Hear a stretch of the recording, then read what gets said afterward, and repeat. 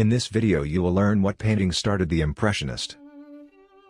Come and find out what was said and take a very close look at the work.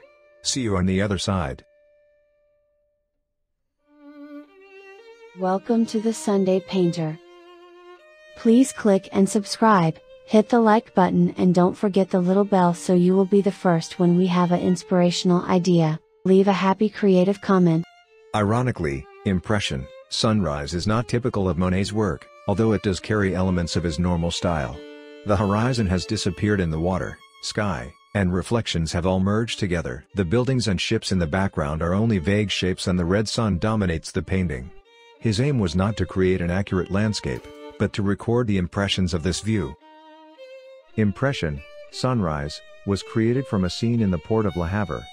Monet depicts a mist, which provides a hazy background to the piece set in the French harbor. The orange and yellow hues contrast brilliantly with the dark vessels, where little, if any detail is immediately visible to the audience. It is a striking and candid work that shows the smaller boats in the foreground almost being propelled along by the movement of the water. This has, once again, been achieved by separate brushstrokes that also show various colors sparkling on the sea. Impression, Sunrise became the most famous in the series after being debuted in April 1874 in Paris at an exhibition by the group painters, sculptors, engravers etc. incorporated among 30 participants. The exhibition was led by Monet, Edgar Degas, Camille Pissarro, Pierre-Auguste Renoir, and Alfred Sisley, and showed over 200 works that were seen by about 4,000 people, including some rather unsympathetic critics.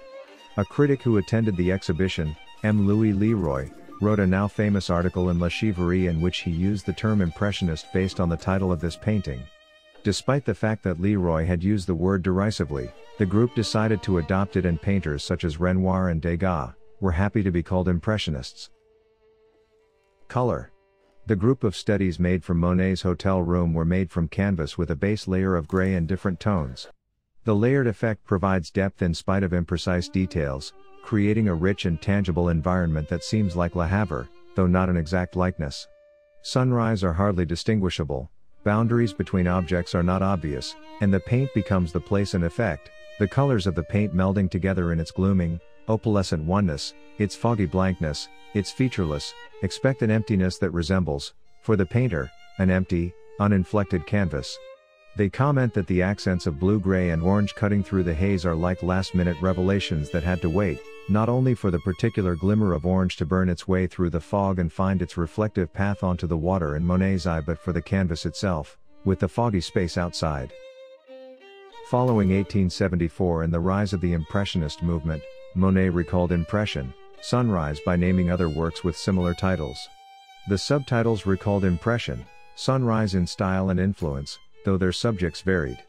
While the movement and the painting initially garnered controversy, Monet's Impression, Sunrise, gave rise to the name and recognition of the Impressionist movement, arguably exemplifying more than any other work or artist the Impressionist movement as a whole in style, subject, and influence. There you have it, the painting that started Impressionism. Click and subscribe for more informative videos to enrich your knowledge of art. Thanks for watching.